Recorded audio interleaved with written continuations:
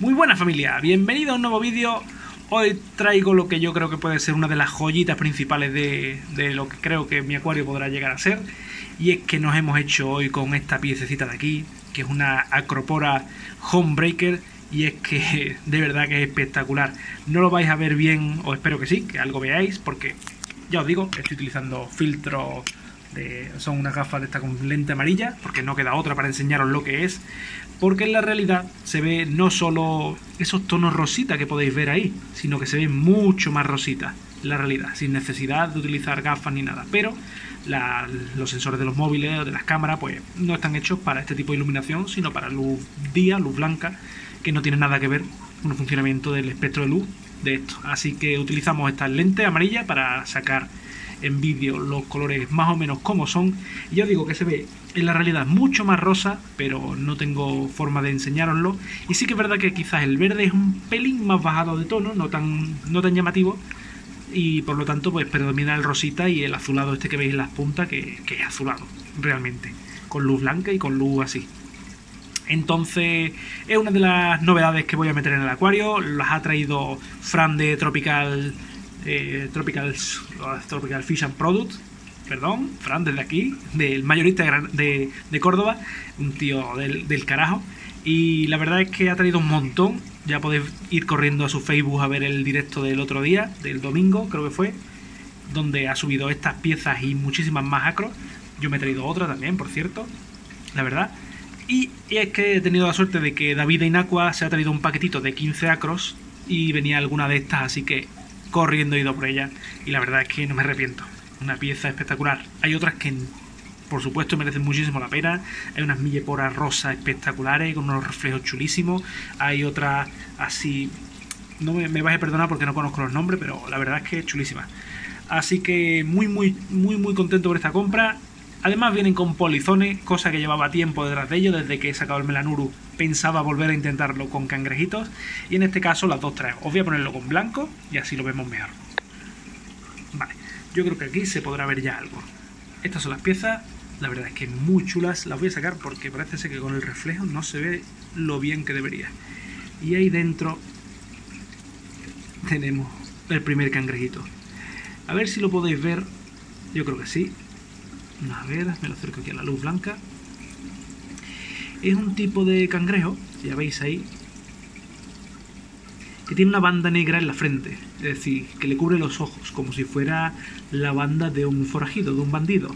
De ahí que se llame cangrejo bandido o bandit crab en inglés, que como lo vais a encontrar seguramente, y es algo que está muy curioso. La verdad, son cangrejitos que vienen haciendo simbiosis con las acros. Hay muchas veces que las acros traen cangrejos, que no son los cangrejos más adecuados para, para mantenerla. Incluso hay otros que pueden ser eh, realmente dañinos. A ver dónde encuentro el otro. Aquí está el otro. Ahí está el otro. No sé si es de la misma especie. Sí, parece que sí. También tiene la banda en la frente menos marcada quizás que el otro. Y son pequeñísimos, son del tamaño de una lenteja. Ya veis mi mano comparada con, el, con lo que es el cangrejito que está ahí en medio. Para el que no lo haya visto, hago un zoom como pueda. Madre mía, que no enfoca. Bueno, ahí los tenéis. Son cangrejos que hacen una simbiosis, entre comillas, con, con, la pieza. Y es que pues limpian un poco de parásitos. Me imagino que también evitan que alguitas y demás desechos se cuelen en las rendijas de, la, de las propias piezas. Y ayudan a su mantenimiento.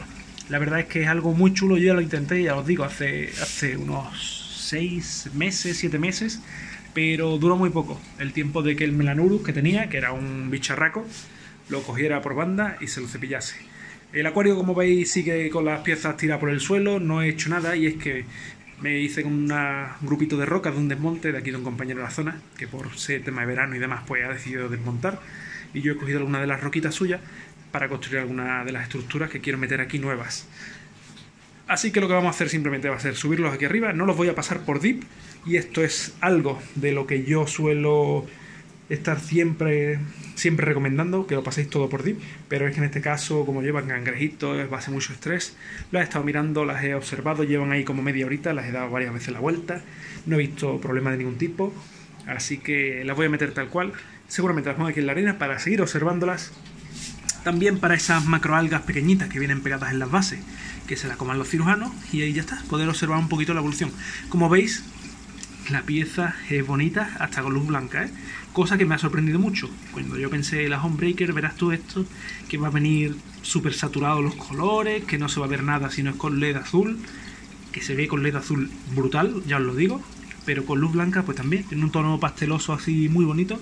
No sé cómo acabará manteniéndose el color en mi acuario, cosa que sí que le tengo miedo porque no todos los colores de los corales que tengo van bien, entonces tengo miedo de que deje de ser una homebreaker y pase a ser una acrópora normal.